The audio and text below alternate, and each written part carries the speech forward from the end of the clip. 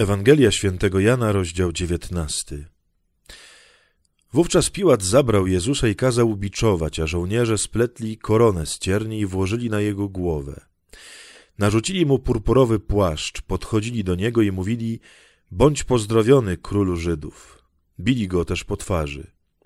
Piłat zaś znowu wyszedł na zewnątrz i oznajmił im Oto wyprowadzam go do was, abyście wiedzieli, że nie znajduję w nim żadnej winy.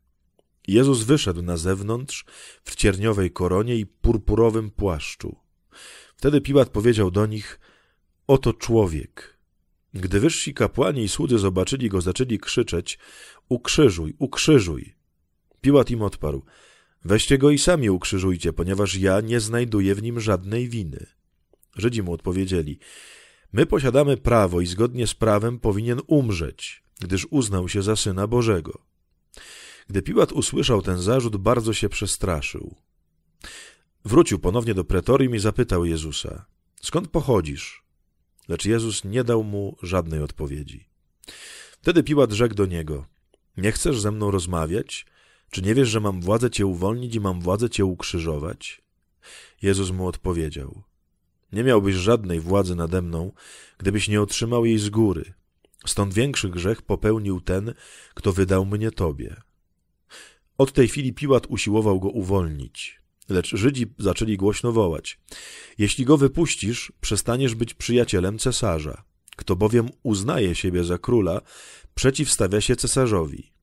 Kiedy Piłat usłyszał te słowa, polecił wyprowadzić Jezusa na zewnątrz i posadzić na ławie sędziowskiej, znajdującej się na miejscu zwanym Litostrotos, a w języku hebrajskim Gabbata.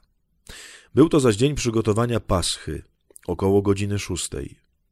Następnie Piłat rzekł do Żydów, oto wasz król. Ci natomiast zakrzyknęli, precz, precz, ukrzyżuj go. Piłat więc ich zapytał, waszego króla mam ukrzyżować? Wyżsi kapłani odpowiedzieli, nie mamy króla oprócz cesarza. Wtedy Piłat wydał go im na ukrzyżowanie. Oni zaś zabrali Jezusa. A Jezus, dźwigając krzyż dla siebie, przyszedł na tak zwane miejsce czaszki, które po hebrajsku nazywa się Golgota. Tam go ukrzyżowano, a wraz z nim z jednej i drugiej strony jeszcze dwóch innych, Jezusa zaś w środku. Piłat kazał też sporządzić i umieścić na krzyżu tytuł kary, a było napisane Jezus Nazarejczyk, król Żydów. Wielu Żydów czytało ten napis, ponieważ miejsce ukrzyżowania Jezusa znajdowało się blisko miasta i był on sporządzony w języku hebrajskim, łacińskim i greckim.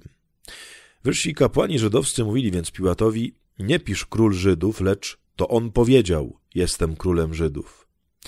Piłat jednak odparł, to co napisałem, napisałem. Żołnierze po ukrzyżowaniu Jezusa zabrali jego tunikę i płaszcz, który podzielili na cztery części, dla każdego żołnierza po jednej. Tunika nie była szyta, lecz z góry na dół cała tkana, dlatego też postanowili wspólnie, nie rozrywajmy jej, lecz losujmy, do kogo ma należeć. Tak miało się wypełnić pismo, podzielili między siebie moje ubrania i o moją szatę rzucili los. To właśnie uczynili żołnierze. Przy krzyżu Jezusa stała zaś jego matka, siostra jego matki, Maria, żona Kleofasa oraz Maria Magdalena. Gdy Jezus zobaczył matkę i stojącego obok ucznia, którego miłował, zwrócił się do matki. Kobieto, oto twój syn. Następnie rzekł do ucznia, oto twoja matka. I od tej godziny uczeń przyjął ją do siebie. Potem Jezus, wiedząc, że już wszystko się dokonało, aby się wypełniło pismo, rzekł, pragnę. A znajdowało się tam naczynie pełne octu. Nałożono więc na hizop gąbkę nasączoną octem i podano mu do ust. Kiedy Jezus skosztował octu, powiedział, wykonało się, po czym skłonił głowę i oddał ducha. Ponieważ był to dzień przygotowania paschy i aby ciała nie wisiały na krzyżach w szabat, był to bowiem uroczysty dzień szabatu, Żydzi poprosili Piłata o połamanie nóg skazańcom i usunięcie ich. Przyszli więc żołnierze i połamali golenie pierwszemu, a potem drugiemu, którzy byli z nim ukrzyżowani. Gdy podeszli do Jezusa i zobaczyli, że on już nie żyje, nie połamali mu goleni.